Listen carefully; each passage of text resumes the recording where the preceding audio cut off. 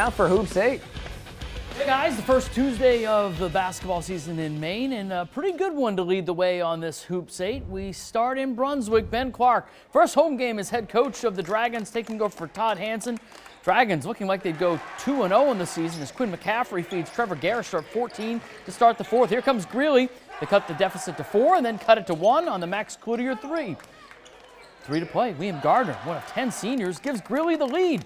Brunswick responds. Ethan Driscoll, the sweet drive. Dragons up 61-60.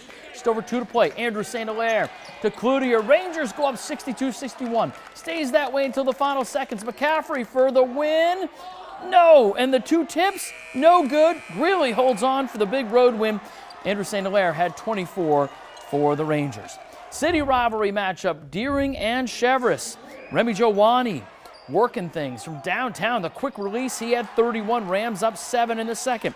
Here come the Stags. Seth Huntington showing off the range. He had 18. Then Gio Sononge hits the floater on the fast break. He had 13. Anthony Cloutier driving, gets the tough hoop. It was tied at the half, and Cheverus a big win in overtime, 73-72. Bonny Eagle and Portland both looking for their first win of the season. Bulldogs running the break. Wani Donato ahead of the pack for the deuce. He had 18. In the fourth, Jesse Camus dishes to Pichia. Donato and the Bulldogs are trying to pull away. Scott stick around. Aiden Walcott, the nice finish. He had 13. But the Bulldogs out running again.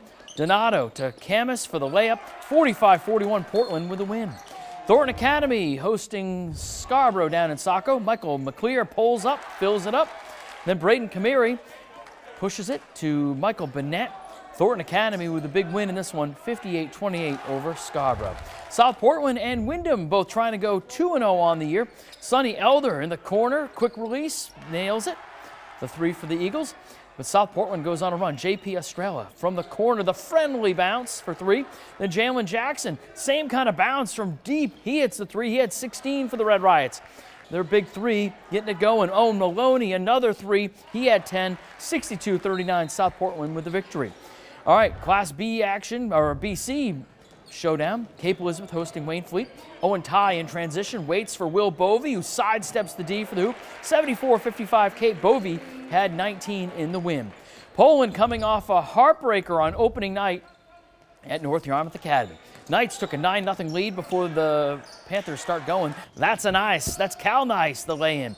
But Hayden Christner was feeling it. The baseline jumper, then the three. 72-68 Poland with the victory, their first of the year.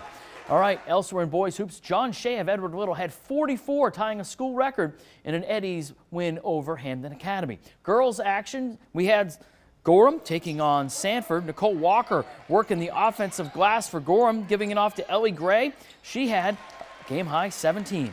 Other way, Riley Hebler with the deep three. Sanford kept it close for a half, but Gorham pulls away 48-27.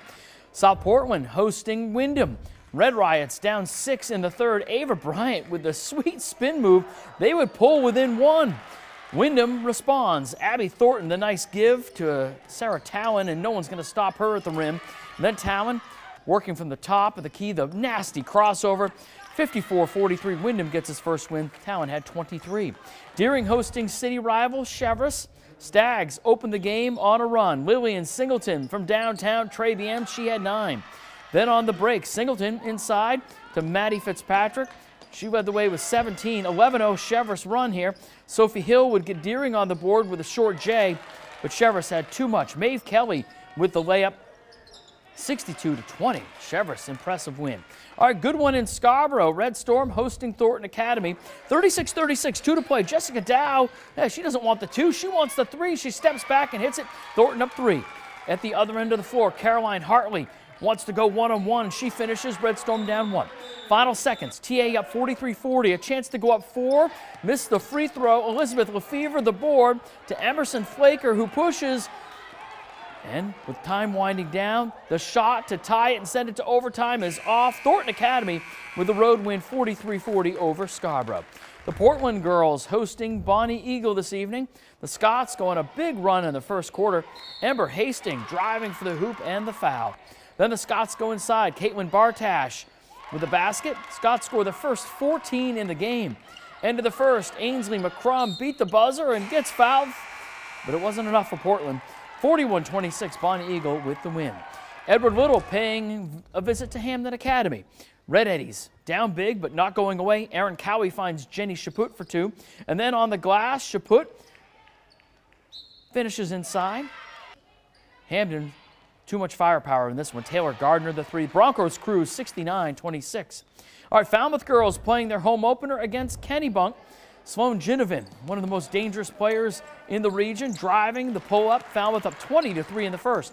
Then Anna Turgeon finds Katie Lozaritis inside for the hoop. Ginnivan then comes up the court, the steal, and she's going to finish. She had 27 points, six steals, and four assists. Anna Turgeon added 14 as Falmouth gets the win.